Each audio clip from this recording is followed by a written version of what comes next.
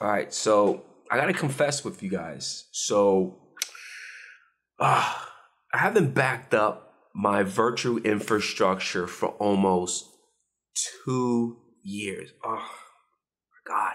So all those changes that I've been doing with SCCM and my database and my Active Directory, all those GPOs, no backup. So today I am going to take the TerraMaster F2423 NAS server.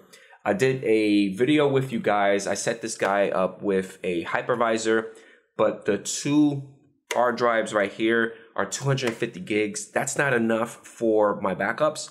So I have two four terabyte hard drives and we're going to set it up. I'm using Veeam for my backup to do all my virtual machines and stuff like that. Uh, like back then I used to use this way.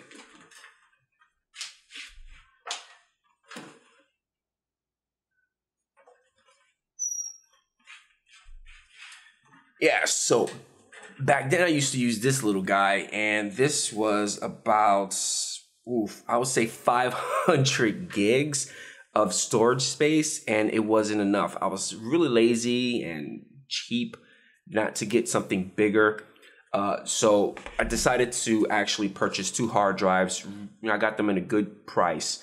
I'm going to replace the two hard drives inside this TerraMaster NAS server use this guy as my primary repository backup storage device to back up my virtual machines because it's been two years. So let's get right into that. Let's hook it up, configure it, and start backing up. All right, so it's time to replace the two hard drives that I have on the F2423 from TerraMaster, replacing it with the Seagate 4 terabyte hard drives. I got them on a good price. So gonna put these guys right here and I'm gonna remove these guys because these guys, you know, oh, there. Removing it is like a pain in the butt. Awesome. And let's do the same thing for this guy. All right. So just gonna remove it. I actually got them locked down with some screws. Unscrew these guys from the cradle, replace it with the four terabyte ones, slap them back in, hook up the TerraMaster into my network, and uh, log into the portal, configure the two hard drives, and then start backing everything up.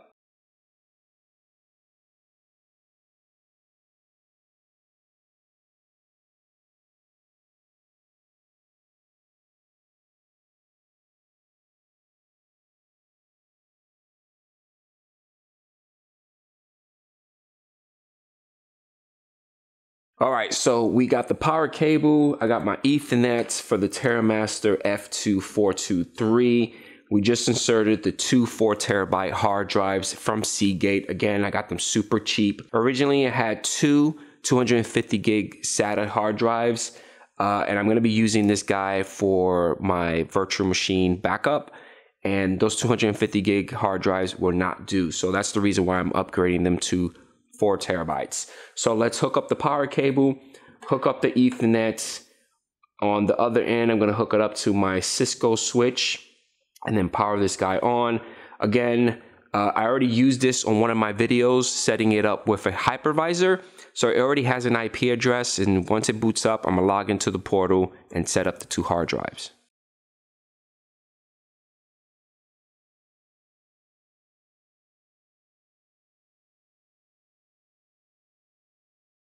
So I just plugged in the ethernet cable on my Cisco switch.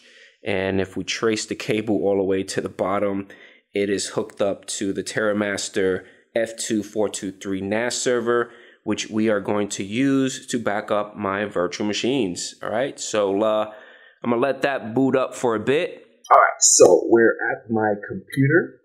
Uh, first thing that I did was uh, I ran an advanced IP scanner on my network because I felt like I assigned an IP address to the TerraMaster F2423, and it looks like I did it. So the IP address that I was assigned to it automatically was uh, 192.168.1 period 16. So open up my favorite browser, enter the IP address, hit enter, and I got this. So I clicked on start. I clicked on automatic. I got a warning about the data on the hard drives would be deleted. Yes. Confirm it. You're going to see your two hard drives. It's going to do like a checkup. Eventually, once this is done, you're going to get this. Now, I provided a username, password. I confirmed it. I even changed the name of the TerraMaster NAS server. Uh, I gave it my time zone and an email address. Now, for the email address, it's because you want to send a code to verify that you are who you are. If you don't want to do that, you can actually say, can't receive email, skip this. So just skip it for now. And it's going to give you a warning. Just confirm the warning and it's going to start doing its thing. Once it's done, you're going to get this. So I advise you to click on save to save a snapshot of this information and then just click on next. Once you click on next, it wants you to log into the portal. So just enter the username and password that you provided and it's going to take you in here. Now, the first thing that I did was I clicked on control panel and within control panel, I went into volume. Now within volume, as you can see, it says synchronizing 1.6%. Now, this literally took about 14 to 15 hours to complete for me. And I think the reason why is because they're four terabyte hard drives. So it's a lot, it's a lot of information that it was trying to synchronize. But you're still able to use the machine. So within here, I clicked on home. Within home, I clicked on file service and within file service, I extended the SMB CIF file service and I basically enabled it because that's what I want. I want to enable the SMB services and create a share folder to point to Veeam to back up my virtual machines inside that folder.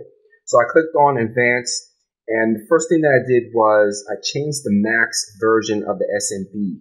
It's a no-no. SMB version 1 is a big no-no. So I clicked on the drop down menu and I did version 3. And for the minimum, I did uh, SMB2 with a large MTU. Uh, I clicked on apply. Configuration was save, which was a good thing. And I went to my file explorer. I basically did a backslash backslash in the IP address of my NAS server and I hit enter.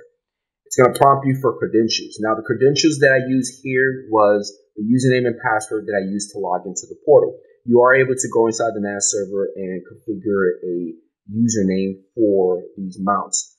But for this video, I just used that particular username and password that I logged into the portal. So I entered that information and I clicked OK. And you're going to automatically see three shares. So you're probably saying to yourself, where are these three shares coming from?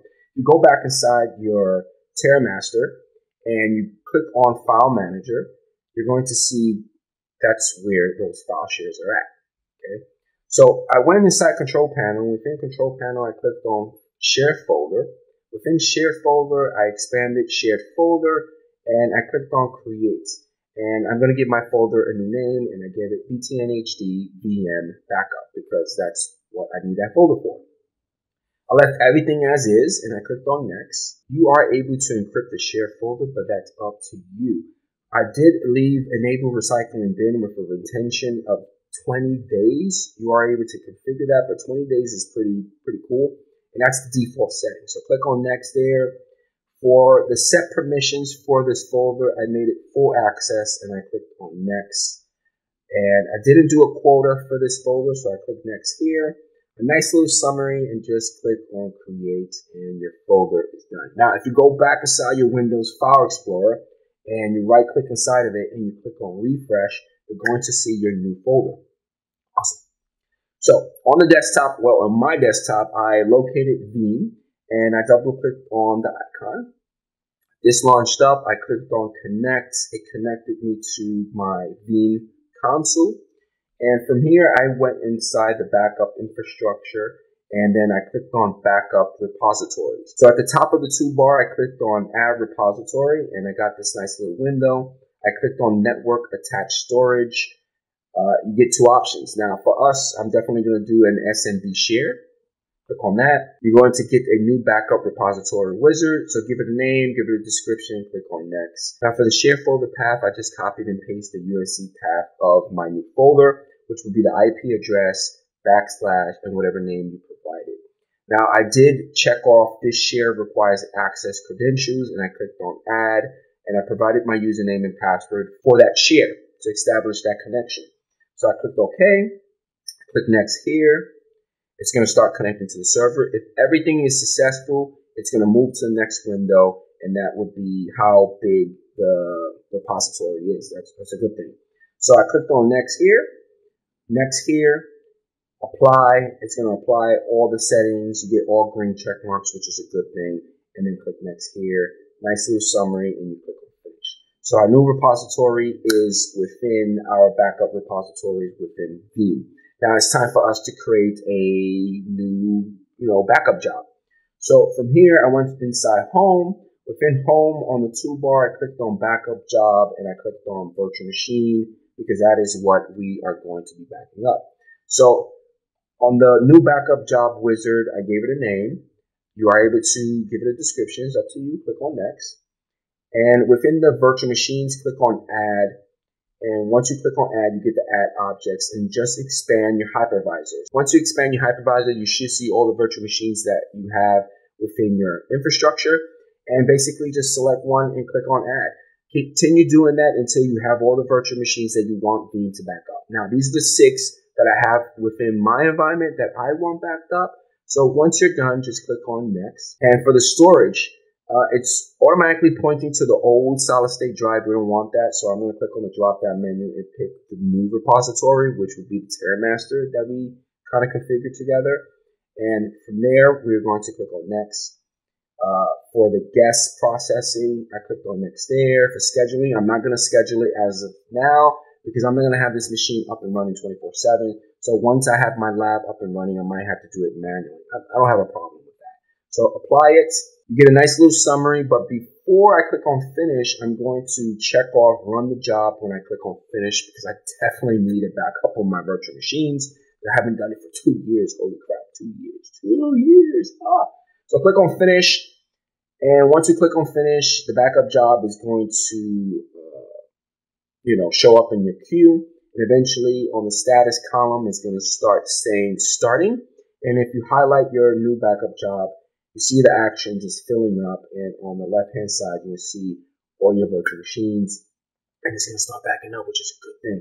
So hopefully you guys enjoyed this video about setting up TerraMaster F2423. Again, I did a video setting this um, NAS server with the hypervisor with you guys, but I actually had 250 gigs hard drives on it. I upgraded to two 4 terabyte hard drives and I reconfigured it. I added it to my Veeam repository to start backing up my virtual machines because I haven't done it for so long.